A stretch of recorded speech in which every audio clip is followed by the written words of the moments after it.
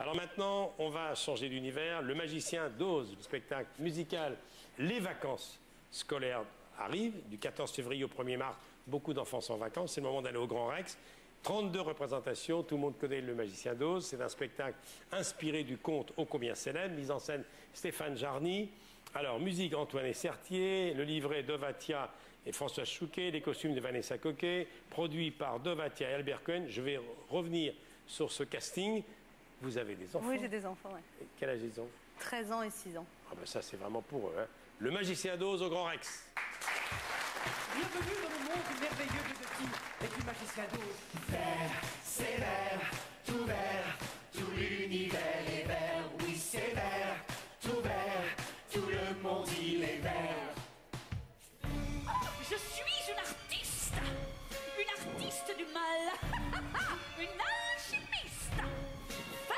phénoménale.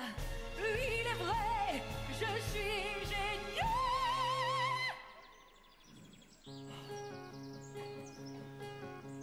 Je ne suis qu'un épouvantail effrayé par les allumettes.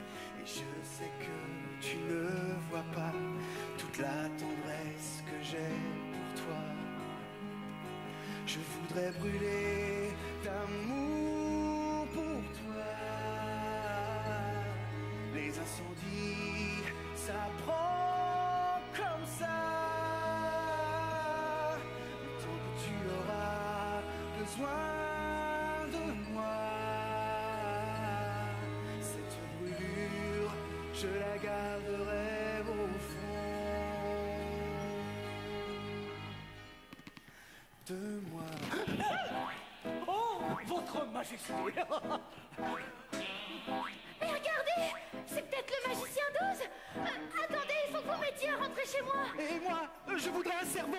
je voudrais un cœur Et moi, du courage. Hop, hop, hop, hop, hop, les amis Et monsieur le portier, aidez-nous. Il y a des usages ici. On ne rentre pas comme ça dans la cité d'émeraude. Il y a des choses à apprendre pour rencontrer le magicien d'Oz. Quelle est la couleur des éléphants? Vert Quelle est la couleur des fraises des bois? Vert Quelle est la couleur des sentiments? Mais quelle est la couleur des petits pois Rouge Eh bien oui, parce que les petits poissons rouges. Vert, c'est vert,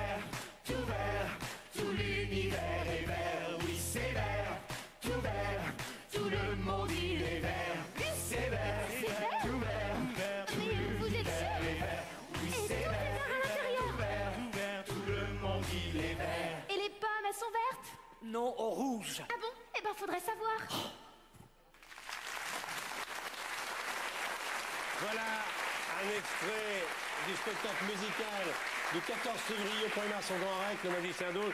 Vous connaissez tous le conte hein, de- du magicien d'Oz, hein, ce voyage d'une petite fille dans un pays magique au-delà de l'arc-en-ciel.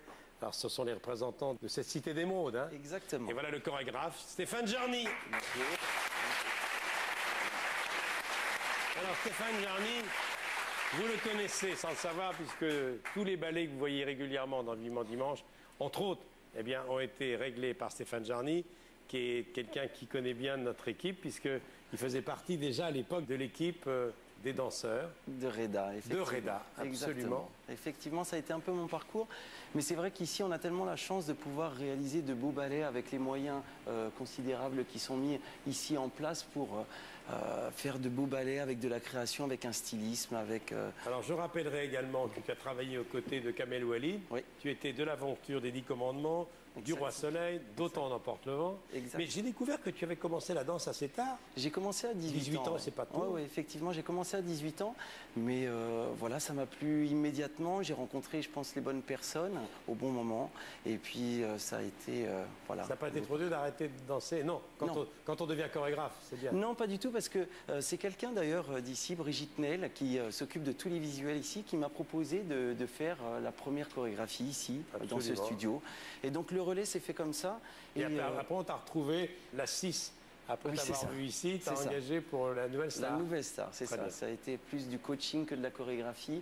Je suis Alors, très on- chanceux. On va citer les comédiens Marie Fagundo, Sophie Delmas, David Alexis, Yamindi, Pascal Sual, Julia Lamassonne, Andy Koch. Alors, ce qui est étonnant, c'est que les producteurs de ce spectacle qui ont produit ou coproduit Les Dix Commandements, Le Roi Soleil, etc., Exactement. sont également des auteurs. C'est-à-dire, Dov Atia, il est producteur, il a écrit le livret. C'est un personnage étechnique. Oui, et puis c'est- surtout que c'est un spectacle pour enfants, enfin vraiment destiné aux enfants. Évidemment, après, qui sera un spectacle familial qui peut intéresser énormément de monde, mais on avait envie de faire ce spectacle très rythmé, très ludique, très frais, avec euh, voilà les costumes où j'ai embarqué Vanessa Coquet dans l'aventure. Euh, Et c'est ta première mise en scène. hein. exactement. Tu mets en scène ce C'est spectacle. un beau cadeau qu'ils me font, Dove et Albert. Tu aurais aimé être danseuse? Ah non, c'est-à-dire, Non j'aurais aimé, j'aurais pas pu, quoi. C'est-à-dire, j'aurais aimé être chanteuse aussi, mais j'aurais pas pu. Il y a un moment dans la vie, il faut se rendre compte. C'est vrai que sur scène. mais tu- moi, de- par exemple, tu, tu danses peu sur scène. Bah, quand je danse, les gens rigolent, et quand je chante, les gens rigolent. Je danse à contre-temps quand même. Stéphane Jarny, merci. Ben, merci Euh, à vous en tout cas. Si vous devez choisir un spectacle pour les enfants pendant cette période de vacances, c'est au Grand Rex. Ça dure euh, une trentaine de représentations. Il y en a, 32. il y en a plusieurs représentations par jour. Voilà, c'est ça. À raison de 2 à 3 représentations par jour, c'est vraiment pour les enfants. Et Oui, voilà, l'après-midi pour qu'ils se couchent tôt le soir. Exactement. J'avais envie d'un beau spectacle frais et en tout cas avec beaucoup de générosité et de sincérité. Très bien.